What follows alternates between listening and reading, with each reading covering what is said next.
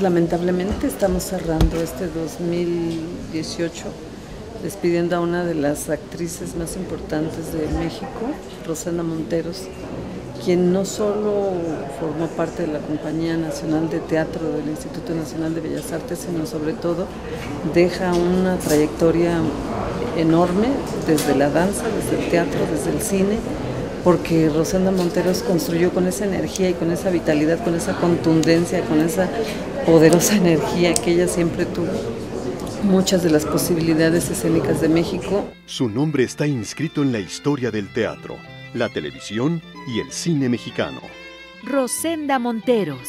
Hablar de la trayectoria artística de la maestra Monteros es hablar también de la historia del teatro de nuestro país.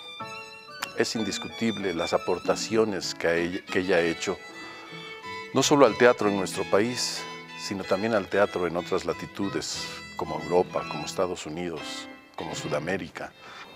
En ella veo yo también cualidades esenciales de una gran actriz que sintetizaría como la vocación, la pasión y la disciplina, que son ejemplo de cómo cuando se poseen esas características se puede construir una carrera consistente, de largo aliento y fuerte. Yo la, conocí en poesía en voz alta y además Rosenda fue una gran protagonista de ese momento mágico de la cultura mexicana, que es la mitad del siglo. La mitad del siglo XX, en el futuro llamaremos al siglo XX el siglo de oro de la cultura mexicana. Y ella fue una gran protagonista de este momento. Trabajó con todos los grandes directores, con Buñuel, con Custodio, con, Gurrola, con, todo el mundo. promovió, produjo, eh, triunfó, explotó verdaderamente. La actriz originaria del estado de Veracruz desde muy joven se inició como bailarina.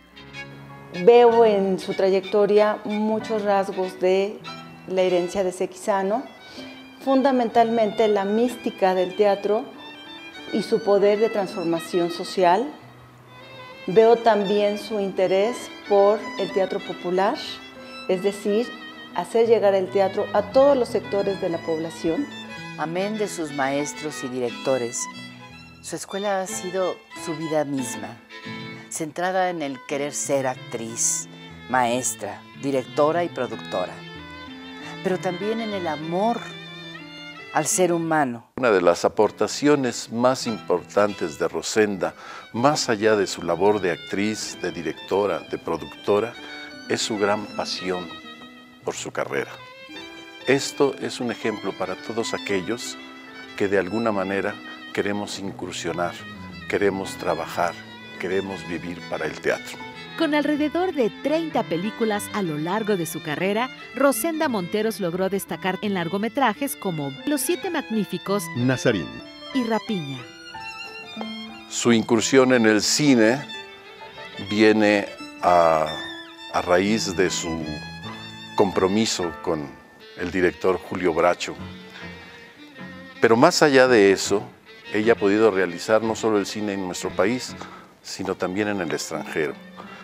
Son memorables su trabajo en Los Siete Magníficos, es memorable su trabajo en las películas de Buñuel, es inolvidable su trabajo en otras películas en las que ella ha demostrado su gran capacidad como, como actriz. En teatro, su gran pasión, obras como Bodas de Sangre, Cassandra, La Celestina, Fuente Ovejuna y La Prueba de las Promesas, entre muchas otras. Es un ejemplo para estos muchachos jóvenes que por fortuna llama a la Compañía Nacional de Teatro por su disciplina, por su pasión feroz por el teatro verdadero. El aplauso y el reconocimiento incondicional de parte del público para el talento artístico de Rosenda Monteros.